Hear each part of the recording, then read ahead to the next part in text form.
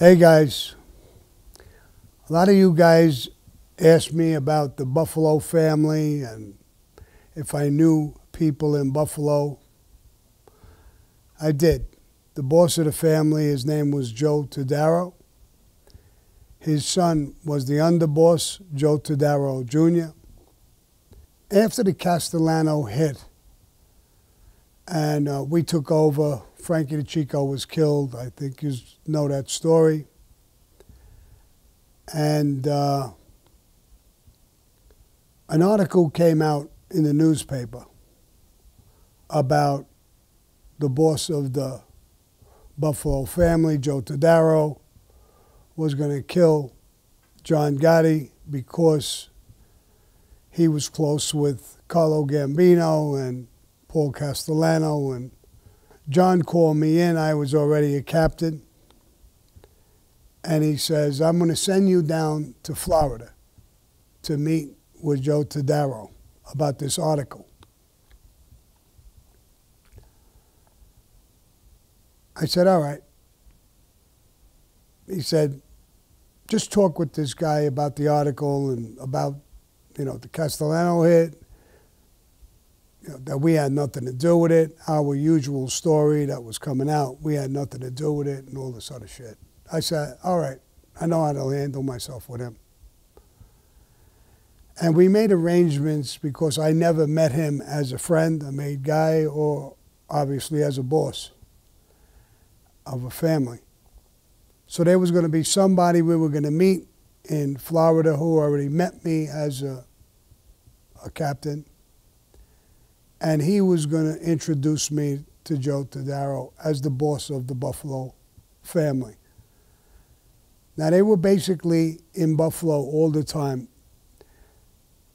I know a little bit about them. They had a weird situation. First of all, they were the only family up there and in that entire region, in that area. And uh, when guys got made, I had heard that they immediately made them union delegates in different unions to run the unions, and they actually went to work in that union being a delegate, and they were also a made guy. I thought it was a little strange. The other thing that I thought was strange that when you become the boss, I never heard of you putting your son as the underboss of the family. It's called nepotism. It's really not done. You always put someone else. Usually somebody who's on the other side in, in a different faction, so you bring in the family. But um, that's the way they did it. And he owned this hotel in Florida. And that's where the meeting was going to happen. So I believe it was Huck.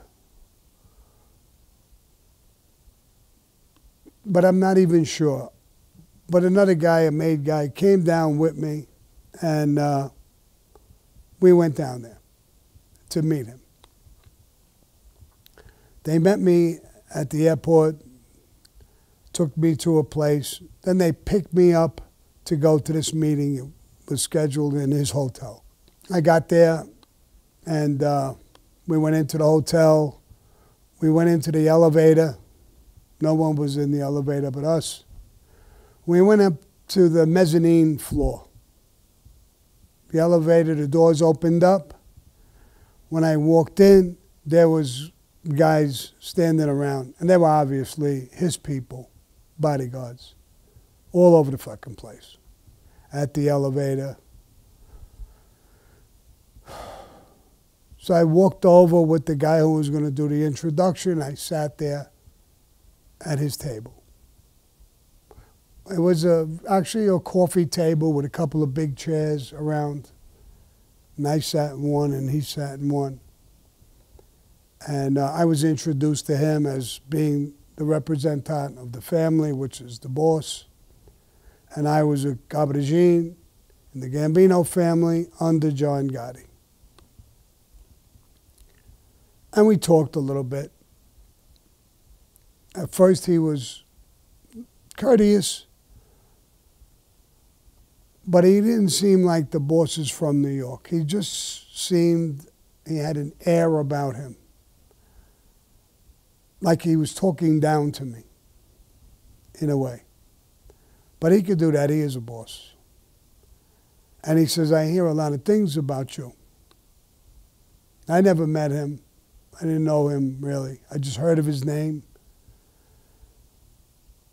He was an old timer.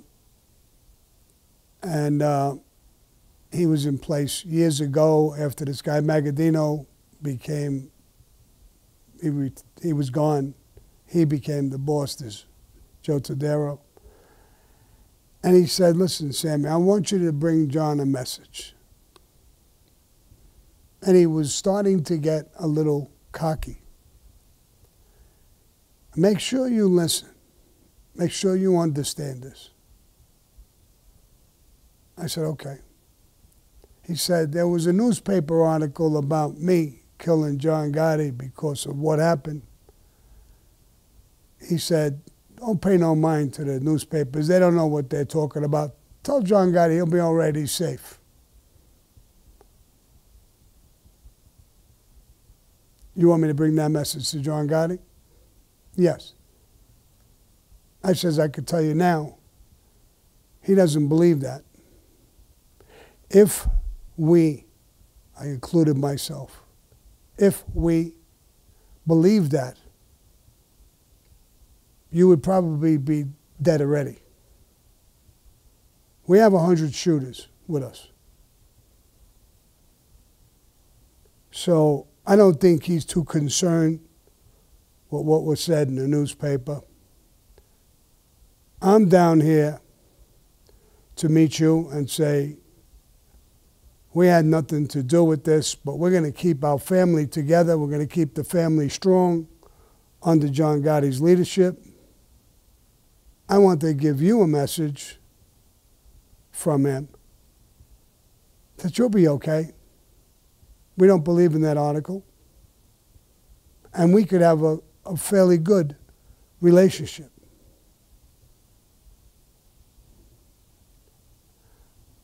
I know he didn't like what I said. I gave him a little bow, smile, but deep inside, I didn't give a fuck what he felt. I didn't like what he said, and he could not like what I said. I could give a fuck less. Before we got done talking, he wanted me to go talk with his son in another area, in another place. And I would be introduced to him as the underboss. So I said, okay. We shook hands. I said, when I bring that back, I'll bring back your messages. Come to think of it, maybe I'll call John and I'll give him the messages before I even go home. Okay, Sammy, do what you feel. I got up, I another smile, I bowed my head in respect.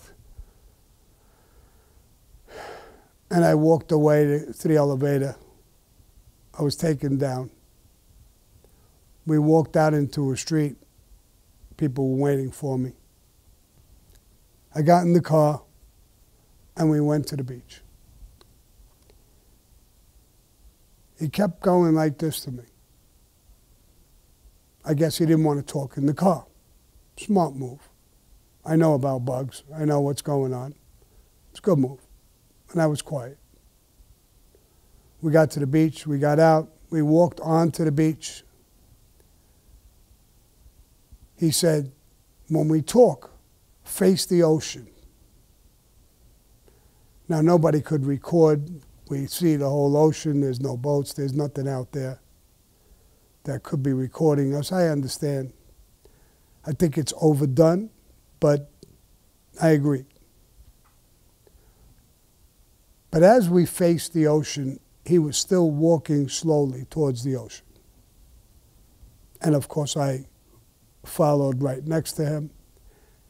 And we talked about the unions, what was going on. He asked me a little bit about the Castellano thing and he says, you know, we got to be careful how we talk.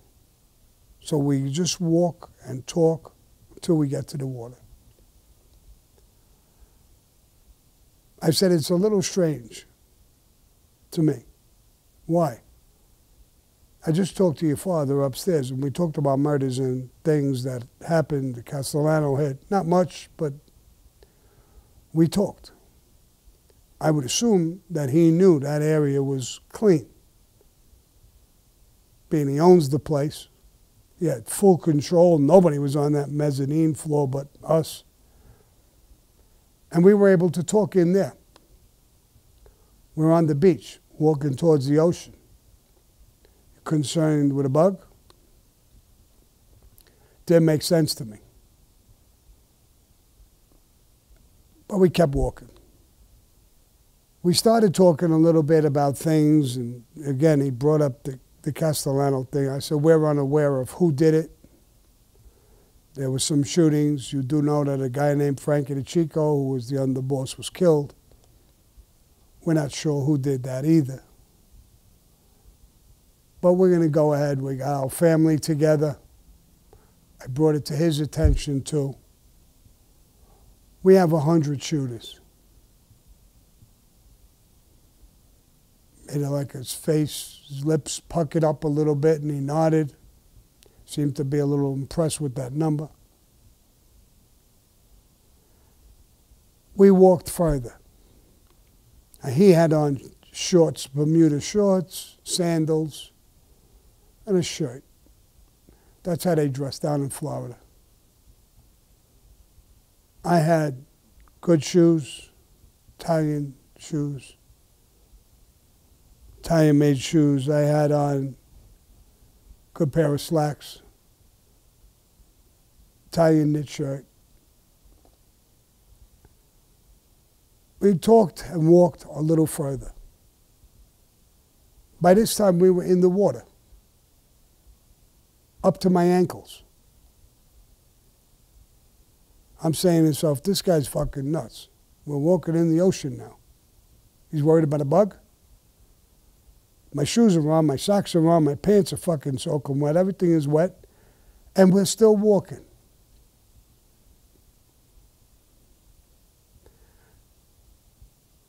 I started to say something as soon as the water went past my belly button and was coming up towards my chest. I couldn't help myself. I said, Joe, I'm soaking fucking wet, bro.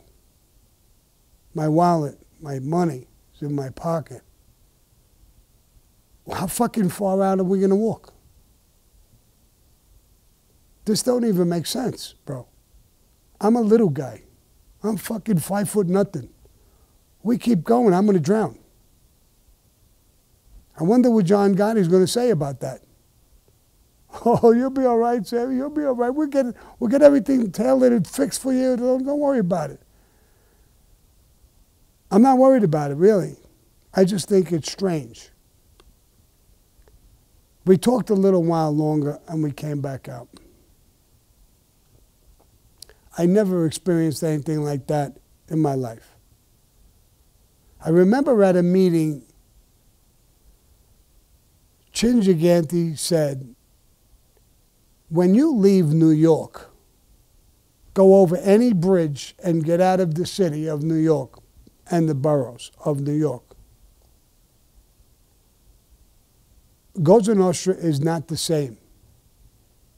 It's fucking weird they have a different mentality, different type of people. They're just not this hardcore, in your face type of mafia. Five families growling and barking at each other from time to time, bodies being left all over the fucking place. You make you guys, you made them union delegates and they go to work?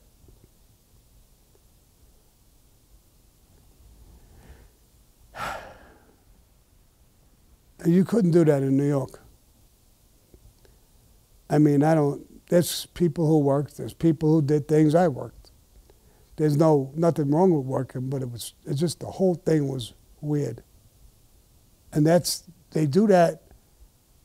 So they have a job, and if they're followed, it looks like they're going to work and they're a delegate.